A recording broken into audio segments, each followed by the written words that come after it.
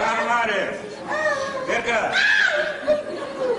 Экстра психоневроз. Այսօր Կարփ Խաչվանքյանը կդառնար 90 տարեկան, նա ծնվել է 1923 թվականին Ախալցխայում։ Դեռ մանկուց նրա երազանքը դերասան դառնալն էր։ Փոքրիկ Կարպը ոչ մի ներկայացում բաց չէր թողնում եւ ամեն ինչում խաղու պիես տեսնելով էլ ավարտեց դպրոցն ու ընդունվեց Վրացֆիլմ կինոստուդիայի կինոդերասանական դպրոց։ Ավարտելուց անմիջապես հետո տարբեր երկրներից բազմաթիվ հրավերներ ստացավ, բայց ընդունեց Հայաստանի հրավերը։ Նրա մտերիմ ընկերներից մեկը Սերգեյ Արաքելյանը իր հուշերով կիսվեց Երևան լրատուի հետ եւ նշեց, որ հրավերը լակոնիկ էր եղել։ Միայն գրված էր. հրավիրում ենք Երևանի երաժշտական կոմեդիայի թատրոն աշխատելու։ Խաչվանքյանը եկավ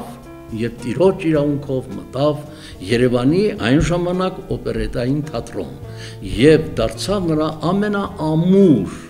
ամենականգուն սյուներից մեկը, որ 50 տարի թատրոնի գմբեթը պահեց։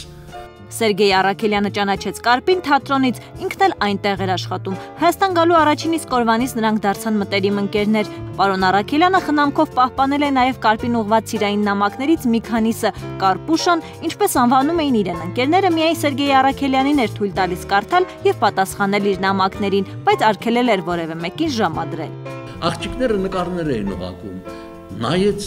մեկին ասեց ոյ այս սատանան հետաքրքիր է երևում միայն նրան կնշանակեց ժամադրություն մյուսներին ասա դերեր դերեր դերեր ժամանակ չունեմ չեմ կարող հետո կհանդիպենք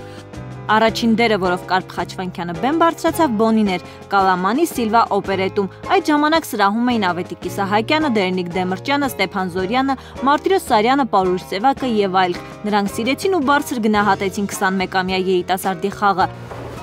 Այս սրանք արդեն հիմնական դերերն են։ Այսա առաջին հայերեն դերն էր։ Ալի, այդ որ ասում եմ աշուր վրա, պալատական։ Առաջին դերն էր։ Իմ կարպուշային Հաջորդ օրը շատերն էին շտապում թատրոն, սեփական աչքով տեսնելու նրան, ում մասին խոսում էին բոլորը։ Սերգեյ Արաքելյանը հիշում է, որ Կարպի առաջին դերը ռուսերեն լեզվով էր, չէ որ նա հայերեն չգիտեր։ Այս փաստը շատերի վրթովմունքի առիթ դարձավ, եւ նա որոշեց սովորել հայերեն։ Ես դարձա նրա լեզվի ուսուցիչը։ Ես թելադրում էի տեքստը, նա հայերեն տարերով գրում, ռուսերեն տարերով գրում էր Եվ այդպես սովորեց, սովորեց, բայց գիտեք ինչն էր, դա պարադոքս ասեմ, թե ինչ ասեմ։ Նա հետո այնպես դիրապետեց հայոց լեզվին,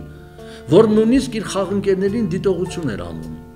Երկրորդ երրորդ ներկայացումից հետո թատրոնի պատին Տոմսարկղի մոտ արդեն փակցվեց մի թուղթ, որի վրա գրված էր. Կարպը բեմում է, բոլոր տոմսերն արդեն սպառված են։ Նման հայտարարություն թատրոնի պատմության մեջ առաջին ու վերջին անգամ եղավ, փաստում է Արաքելյանը։ Կարպ Խաչվանքյանը ստեղծեց 13 բեմադրություններ եւ ունեցավ 100-ից ավելի դերեր։ 54 տարի նա եղավ Երևանի երաժշտական կոմեդիայի թատրոնի առաջատար դերասանը։ Սիրվեց ժողովրդի կողմից եւ ծիծաղ պարգևեց բոլորին։ Սերգեյ Արաքելյանը ցավով նշում է, որ քիչ է խոսվում ռեժիսոր Խաչվանքյանի մասին։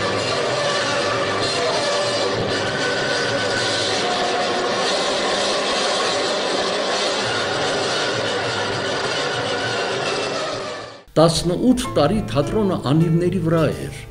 եւ այդ ծանր տարիներին նրան հրավիրեցին կառավարություն խնդրեցին որպիսի Խաչվանքյանը ստանձնի թատրոնի ղեկավարությունը եւ Կարպուշան հիվանդ վերցրեց այդ ծանր պարտականությունը այդ ծանր տարիներին նա բեմադրում էր միայն երաժշտական կոմեդիաներ, օպերետներ եւ մյուզիկլներ